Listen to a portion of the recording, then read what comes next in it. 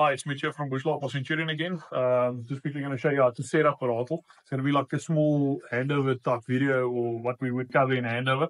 Um, basically, the first thing we'd want to do is to level the caravan. So we'll take out a few jacks and level according to the width and the length of the caravan. Always keep the spare wheel as the low point, especially in the rain, raining season. Uh, that must be your low point so that the water can flow off the roof uh, in a natural flow that way. We'll try and keep the awning side dry or the kitchen side living area dry as far as possible. Okay. While we go around the unit, jack down here. This is your breather for your water tank. Okay, that needs to be open when you do anything with water. Filling water, using water in camp, uh, draining water when you head back home. Anything to do with water that must be open. Okay. This is your filler. Okay, so all you do is just to screw it open and basically put your hose in there and fill it up. It will spill out the filler and the breather when the tank is full. Uh, on the Ratel it takes 150 liters. Down at the bottom, just below here, there is a tap. I'm just going to open it quickly so you can see the water running out. That is for your basin inside. That's for the grey water that runs out the basin on the inside. Um, on the same side below the bed, you've got your 220 inlet plug. So blue plug this side. Other side will be a three point. So just remember your three point adapter that goes into a caravan park plug. From there, we'll start with roof, front bed, side bed, awning. And then when we close it, will be reversed. It will be um, awning, side bed, front bed, and then roof to complete the, the breakdown. While we're on this side, I can quickly show you guys the new geysers. Um, so on the Hanson geyser, this is your exhaust vent for the gas side. Before you start up your ge- start up your geyser, always remember to bleed your geyser. So first thing would be to switch on the mains on the 12 volt side, switch on your pump, and then just run a bit of water through here till you get a constant flow of running through the geyser or through the hose. Then you know your geyser is full in water. Um, it's very important, especially on the 220 side, to make sure that the geyser is filled with water. Otherwise, you might burn up the element. Um, on the gas side, if the geyser is halfway full, it's okay. Try and fill it as far as possible and then start up the system. Okay, so from there, we'll go around and we'll start. All right. So first things first, to release the roof, you've got two clips on the front. The one there.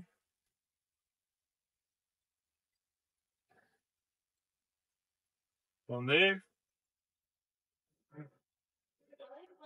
And then two clips on the rear.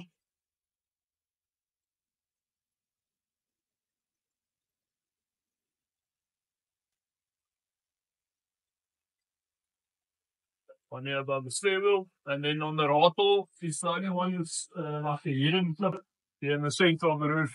It just uh, realigns the roof when you close the roof. So just clip it in there.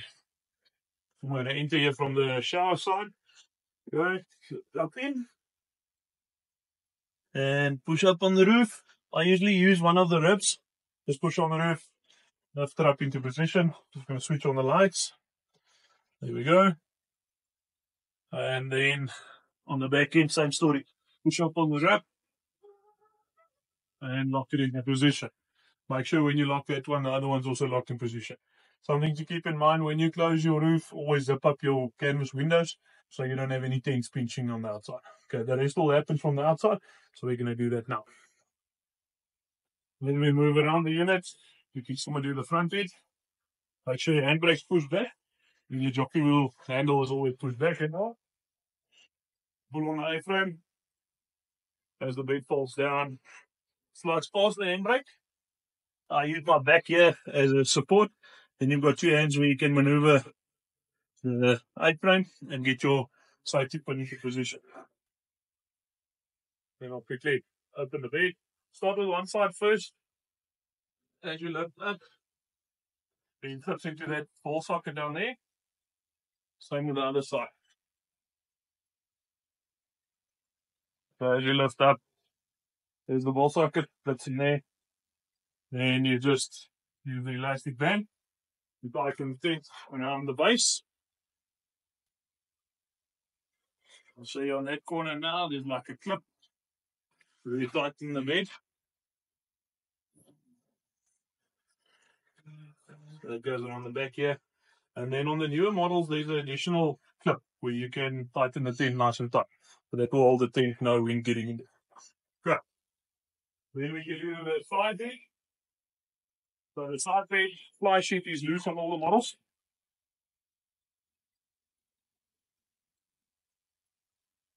So we start with this one here. Um, when you look at your fly sheet, you've got a, a roping and a piece that has no roping and then roping again. Same with the other side. So on the newer models, we're only sliding the center piece of the fly sheet. Slide it in, it all the way to the gets close to where it needs to sit.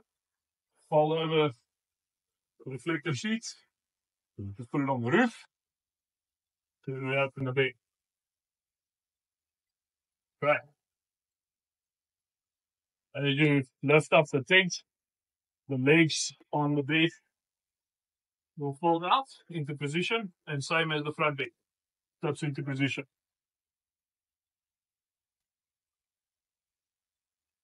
Same with the elastic band. This tightens all the way around the base.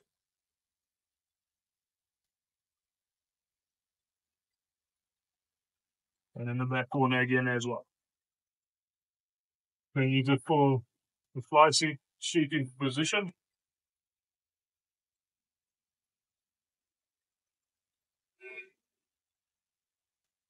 On the shower side on the Ratel, you've got two extrusions where it slides down. So we start with the one closest to the tent.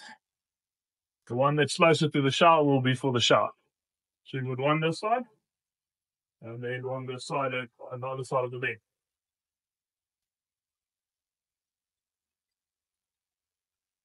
Okay. Last thing is finish the setup on the base. Is to put in the spring rods. They're all identical. So I'm just going to put in one for the exercise so you guys can see. So you've got a, a bend in the straight part that bends down and then you've got your hook. So the bend goes in first, then down to make sure you put it nicely into the aluminium sleeve in there. You don't scratch your body, okay? Make sure you pull the tent a little bit, keep it away from your face. If it slides out of your hand, doesn't hit you in the face. Okay. That's it. So you'll do four spring rods on the side bed, five spring rods on the front bed. From there, it is basically setting up the awning. So we start from the front, opening the rear.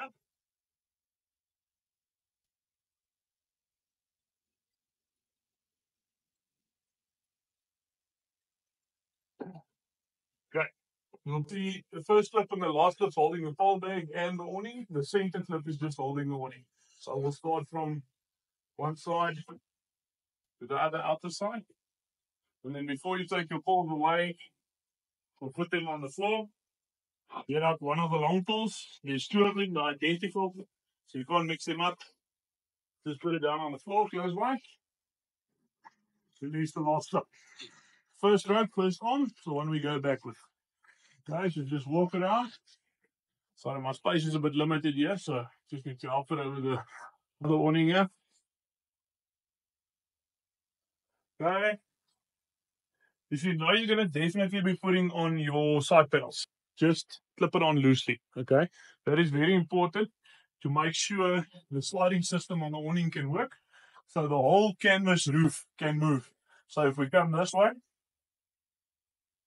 when you open the front arm, if I demonstrate up here, if you just grab it there, you can see the whole canvas can move. Okay. That's very important so that the awning can move to the front and the canvas can tension to the front. So what you want to do is open your arm.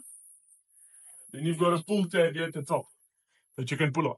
So you just give it a pull. You want that seam to be very close to straight with this arm. If it's on top of the arm, it's fine. As close as possible to that arm. Okay. Then we put in that long pole we took out. We always start in the front.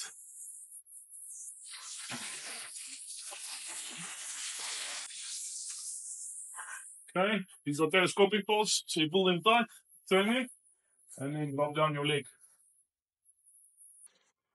If it's windy, make sure someone protects this corner so the wind doesn't catch you out. Okay, then we tension to the rear. So on the newer models, we have changed the system here a little bit. So we go around the far, furthest clip, around the next one, and you pull it as tight as you can to the roof. And pull it nice and tight. All right. Then we set up the rest of the awning. So in doing that, we will add in all the poles. Let's quickly do that for you guys.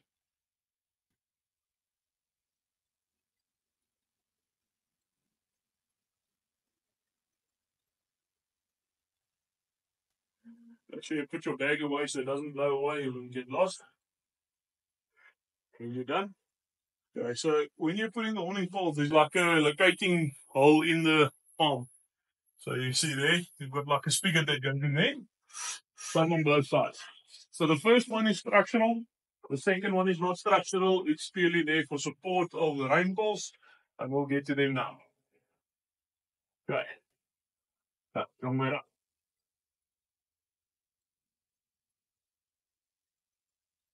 So the square pole goes over the two poles. There's a spigot on one side and a round uh, spigot on the other side that fits into that ball socket. You've got one loose leg that will slide into that uh, eyelet down there.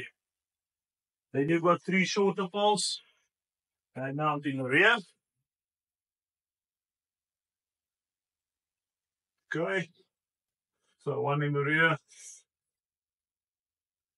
And then as you go around, you'll just find the holes in the awning arms and everywhere where there's a patch, that's where your rainfalls will go. But in there,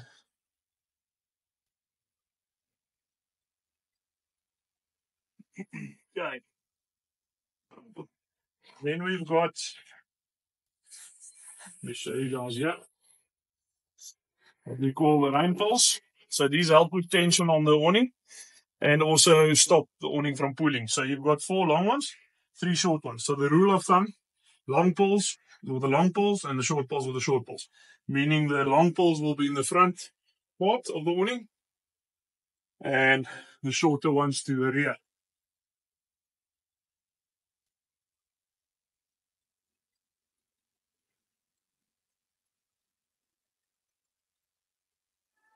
You can see now the awning starting to get nice tension on it. So that will stop it from pulling as far as possible. It is advisable also to adjust your levels on your legs to make sure you've got runoff off the awning. Um, so you don't have any, it mustn't be 100% level if that makes sense.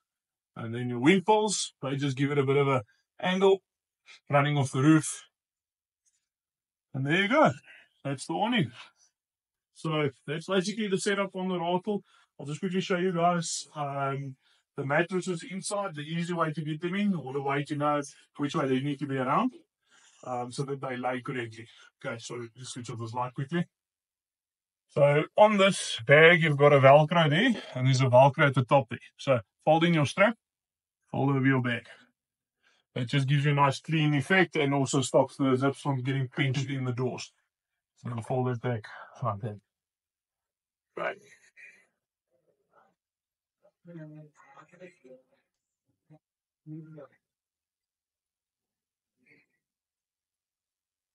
With regards to the mattresses, when you look at the mattress setup, you've got a thicker part and a thinner part. And then this is the front bed mattress.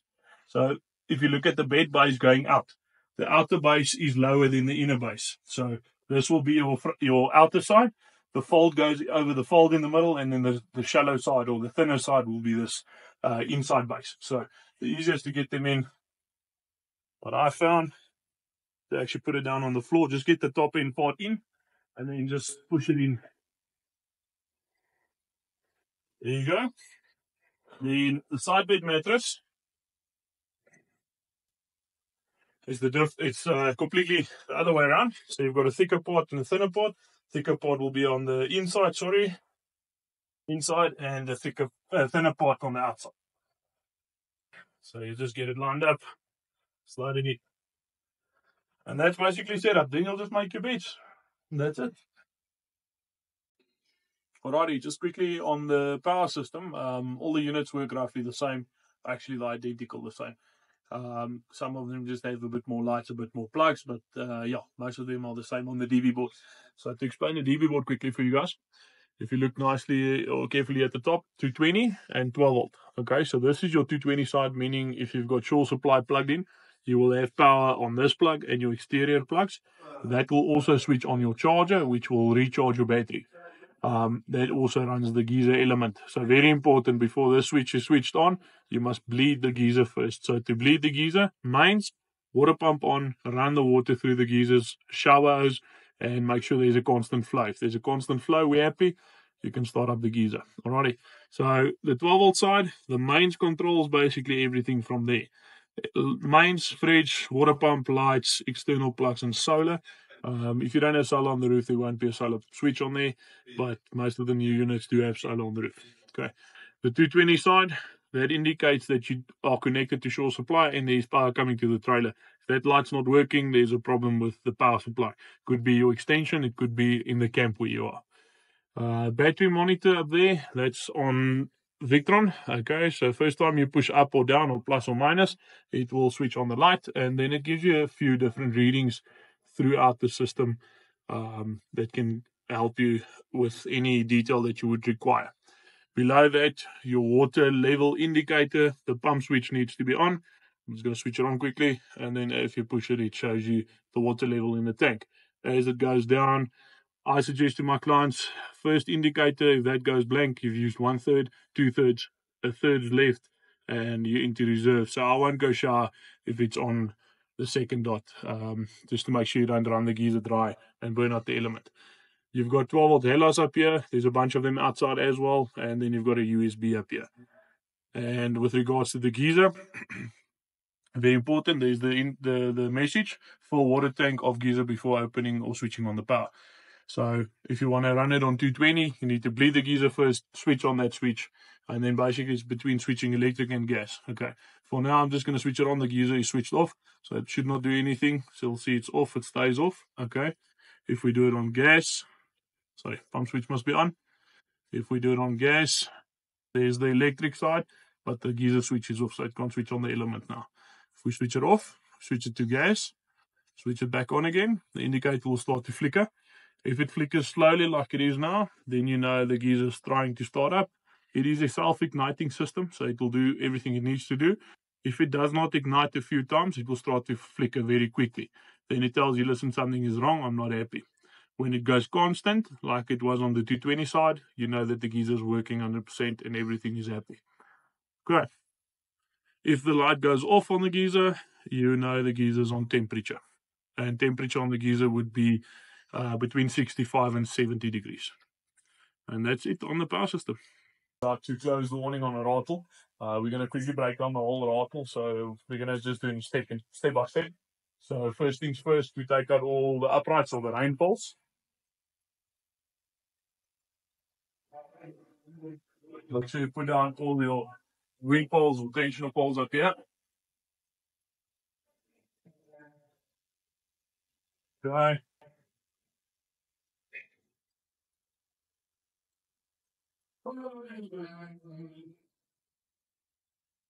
Just easy accessible if you close all your kitchen tops and your doors. Makes it easier.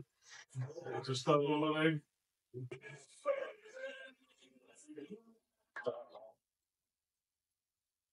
Okay. Uh, make sure you release the bag on the Velcro top so it folds down. Then start from the back end to the front. So I'll start with this one here.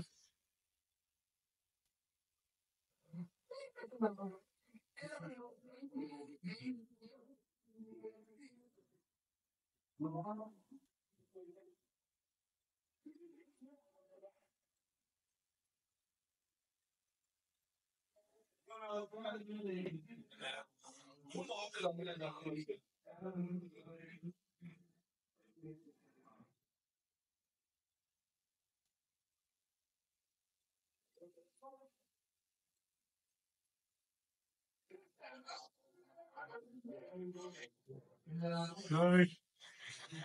Then you start with the back long pole first, leave the front one to last.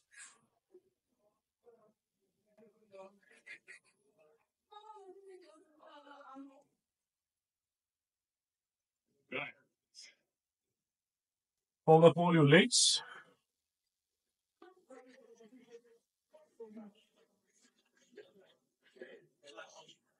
You release front. Second long pole. Okay. What you want to do is to take this arm underneath the canvas. So you want to lift up the canvas, take the arm in underneath. Make sure on the inside that you fold the canvas over past the arm so that you have aluminium against aluminium and no material in between. Otherwise it will create rubbing there. Okay, then we release the back end.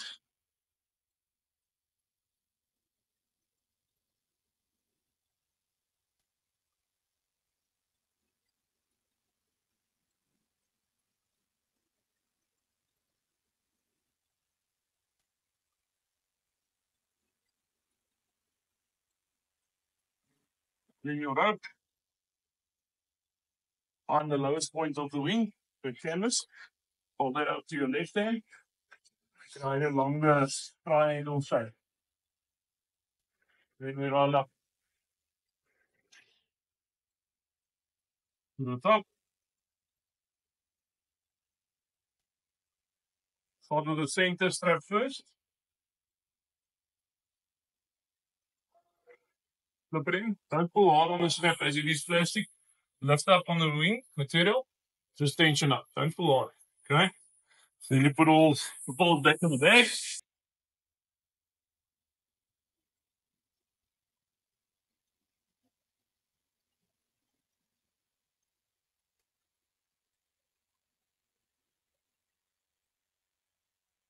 The opening will be in the part of the lease poles that will go to the rear. The front end will be bottom of the bag that goes to the front.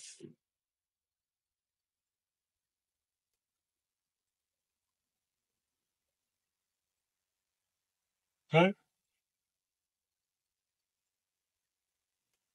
It up.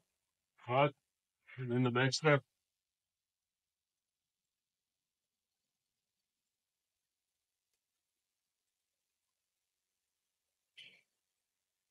Lift up, tension up. Good. Now the leg.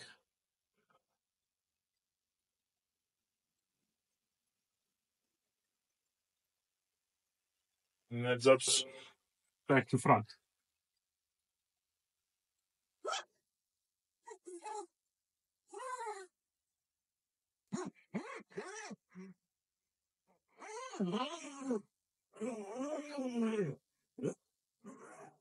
Good. That's the wing. Will be the front bed and the side bed. So we'll do wing first when we close, then front bed, then side bed, then we drop down the roof so the roof stays for last. Okay. When we open up, it's reversed. So we open up the roof first, open up the side bed, front bed, awning, and then basically we set up. So just going to take out the bedding quickly. You just pull the bedding off.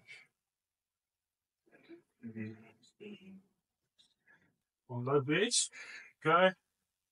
One bed, the easiest is to grab it on the seam that's furthest away from you.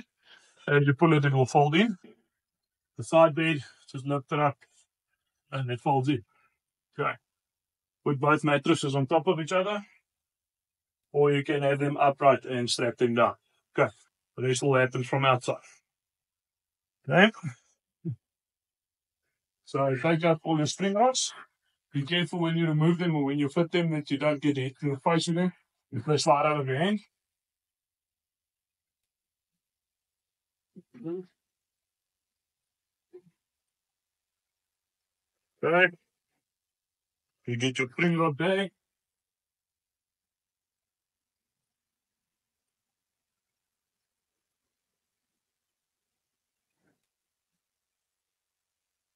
Start to release the tent from the base. Work it from one side to the other side.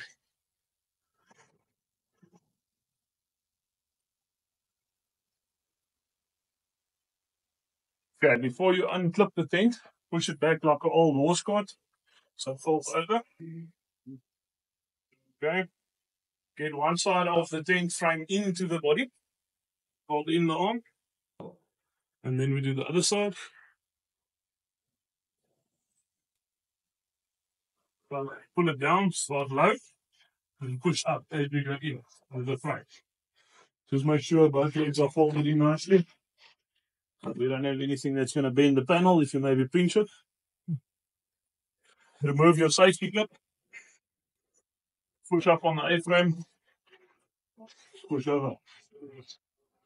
Remember to flip your safety clip back into position. That's the front bit. We're going to go around to the side bed quickly. The side bed, basically the same thing. We'll just unclip all your spring rods.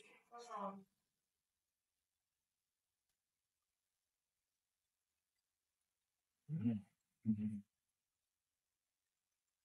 Okay, so three of them that side, one on this side. Okay, we'll put them in the bag now. Pull out your fence on both sides. Mm.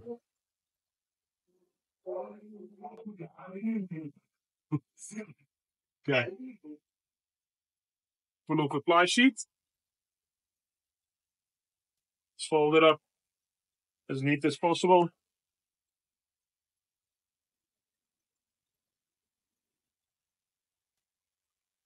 And then same story as the front bed. Start with all the clips, releasing the bed panel or the tent in the bed panel.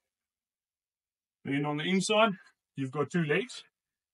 They just pull out of the ball socket, they swivel up to the center. So you pull both of them out, they swivel up to here, hold them with one hand, fold in the tent, and fold up the bed panel. Make sure that there's nothing protruding out. No tents, no nothing. And then also make sure if you feel any resistance that you don't force it. Otherwise you might bend the bed panel. Okay. Careful of your fingers. And that's the side bed. okay. So on the shower um, breakdown, so first things first, you'll clip out off the shower head, feed it back into position. Make sure as you go, close all the doors so you don't have any issues forgetting a door maybe. These poles, they are your wind poles just to stop the doors from sm smacking each other. They stay in the bottom of the door. Okay. This bag here is for all your side flaps. So they attach the shower basically to the unit. So it's all Velcro. Pull that out there.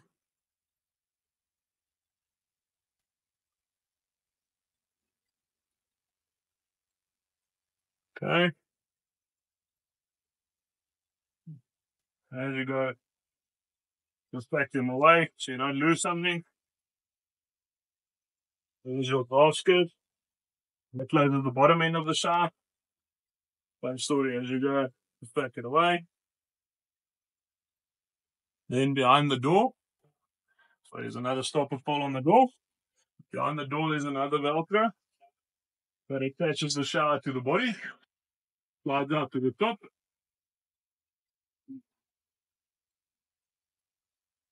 Okay.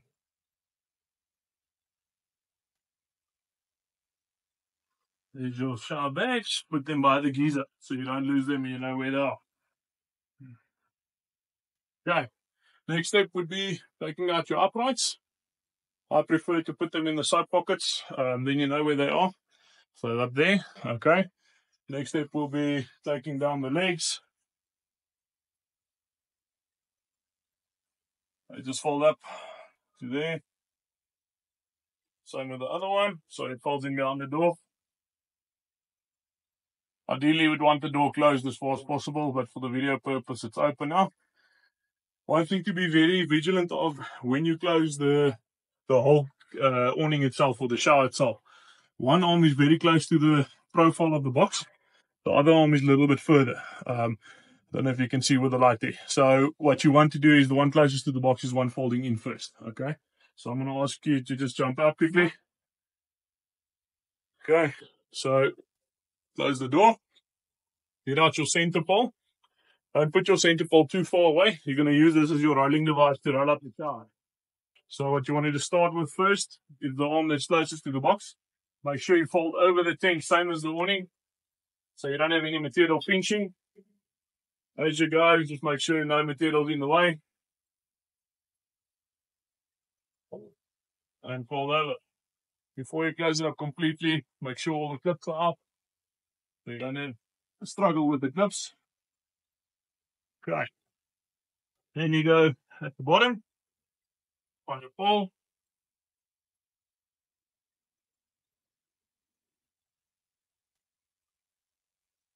Start your own. All gives you the ability to do this yourself, so you don't need any hands helping you.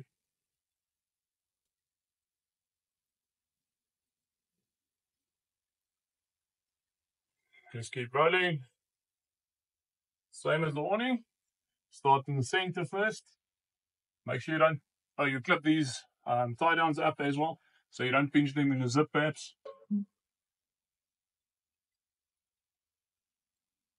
Clip on there. Same story as the wing, plastic clip, so don't pull too hard, just to get it nice and tight.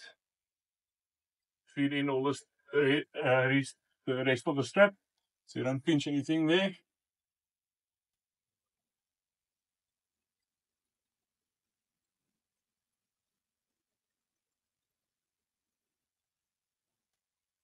Okay. And then the last on this side.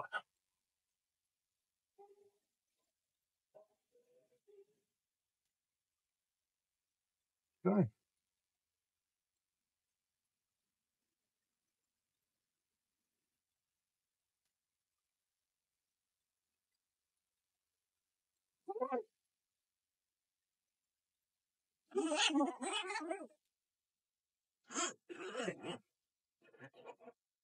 Righty, that's the shower. All right, so closing the roof. Um, you want to have all the windows closed for this purpose. We're just going to leave them open for now. We're just closing the roof. We're going to open just now again.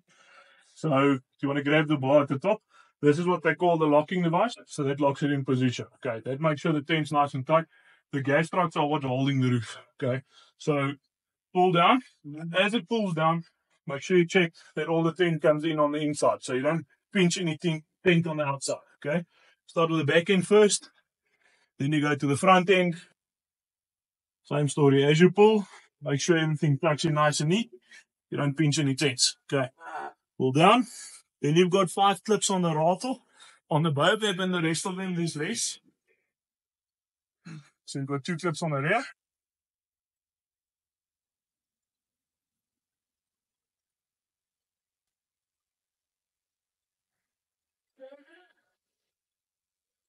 Okay. Then you've got one hidden one in the center of the roof. That just helps to, uh, to locate the roof nice and square. There we go. And then the front. Two. We do them last. They've got a nice full handle, so if the tension on the rubber starts to pick up, then you can pull on it nice and tight. Good. We're quickly going to show you how to use the stabilizers or jacks. Um, they do actually both. So you can use them to stabilize and level the trailer, but you can use it to jack up the trailer and change the wheel as well. So they might be a bit short on the Ratel and the baobab. Um, you might need to put something under the jack, uh, depending on the angle of the terrain you're on. Uh, but you will be able to jack up and change the wheel and carry the weight of the trailer. Okay, so you take it down.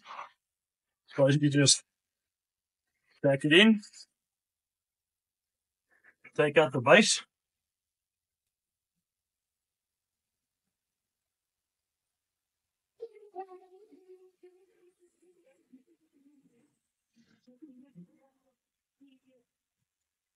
The base that's inside that triangle there. So I put it in the wrong way. Slides in there. Into that bracket, and then you've got a locking fin keeps it in position. There we go.